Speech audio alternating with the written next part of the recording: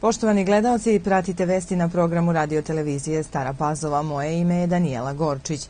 Premijerka Ana Brnabić potpisala je u Moskvi sporazum o slobodnoj trgovini između Srbije i Evroazijske unije kojim se proširuje lista srpskih proizvoda koji mogu da se izvezu na teritoriju Evroazijske unije bez carine i povećaju se kvote za izvoz robe za koje važe ograničenja.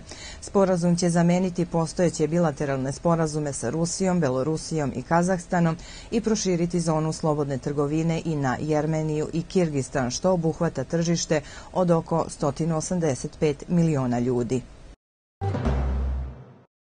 Jednokratnu pomoć od po 5000 dinara svi penzioneri će dobiti 4. novembra, potvrđeno je RTS-u. Izmene zakona kojima se uvodi švajcarska formula za rast penzija stigle su u Skupštinu Srbije, a uskoro će se znati i tačan iznos povišice. Prema predlogu zakona penzije će se usklađivati jednom godišnje svakog 1. januara, na to će podjednako uticati 12-mesečno kretanje inflacije i prosečne zarade. Pozorišni praznik pod nazivom Pozorišne loborike počinje ovog vikenda u Staroj Pazovi. 50. put u okviru ove manifestacije srešće se slovački pozorišni amateri na pazovačkim daskama koje život znače. Smotra koja je značajna za očuvanje identiteta i kulture Slovaka u Srbiji traje već pet decenija uz podršku brojnih institucija i prijatelja. Pobednička predstava stiče pravo da iduće godine predstavlja pozorišne amatere slovačke manjine iz Srbije u Slovačkoj republici na festivalu Scena scenska žetva. Pozorišne lovorike trajaće do 3. novembra, a publika će moći da pogleda osam takmičarskih i jednu gostujuću predstavu. Danas će u Slovačkoj evangeličkoj crkvi u Staroj Pazovi biti održan koncert kvarteta Bilitis. U pitanju je jedinstven kamerni ansambl u našoj zemlji u sastavu flauta, violina, viola i violončelo. Svi članovi su koncertno aktivni muzičari, kao i pedagozi u muzičkoj školi Isidor Bajić i na Akademiji umetnosti u Novom Sadu, kao i članovi orkestra, vojvođanski simfoničari i opere u Novom Sadu.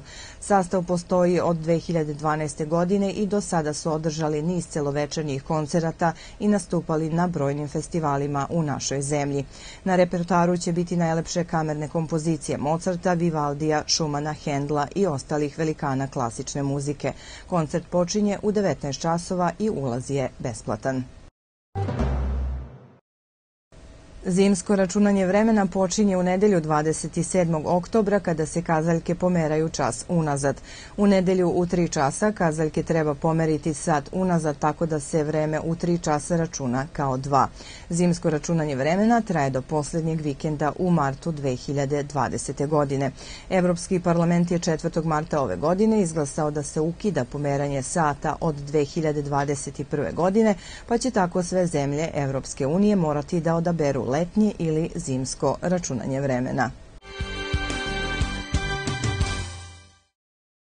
Reprezentativac Srbije u kickboksu Bojan Džepina osvojio titulu svetskog prvaka. On je odlukom sudija na poene pobedio u borbi sa Hrvatom Lukom Žuljevićem u kategoriji low kick do 91 kg. Svetsko prvenstvo u Sarajevu okupilo je 754 takmičara iz 58 zemalja. Bojan je pre četiri meseca osvojio i titulu prvaka profesionalnog šampiona sveta u verziji Vako Pro do 88,6 kg kg. Reprezentacija Srbije osvojila do sada 15 medalja na svetskom prvenstvu u Sarajevu.